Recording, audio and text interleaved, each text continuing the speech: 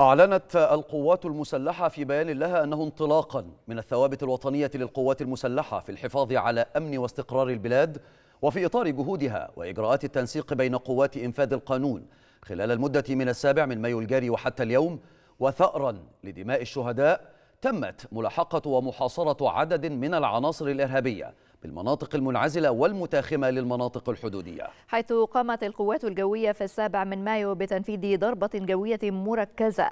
أسفرت عن تدمير عدد من البؤر الإرهابية وتدمير عربتي دفع رباعي تستخدمها العناصر الإرهابية في تنفيذ مخططاتها الإجرامية. نتج عنها مقتل تسعة عناصر إرهابية. كما نجحت القوات المسلحة في اكتشاف وتدمير عدد من العبوات الناسفة المعدة لاستهداف قواتنا. وفجر اليوم الحادي عشر من مايو واصلت قواتنا الجوية تنفيذ ضرباتها المركزة مما أسفر عن تدمير عربة ومقتل سبعة عناصر إرهابية.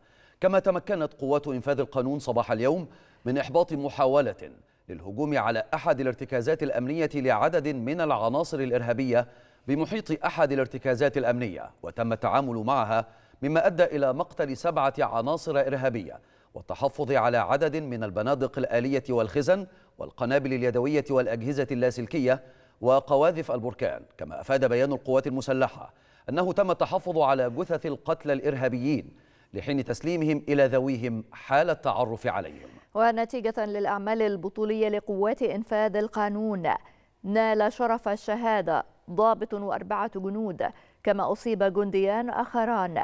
هذا وتؤكد القوات المسلحة أنها لن تترك حق الشهداء من أبنائها وعزمها على استمرار جهودها في محاربة الإرهاب واقتلاع جذوره وأن عزيمة رجالها تزداد قوة ورسوخا يوما بعد يوم وأن مثل تلك المحاولات البائسة من قوى الشر ومن يعاونهم.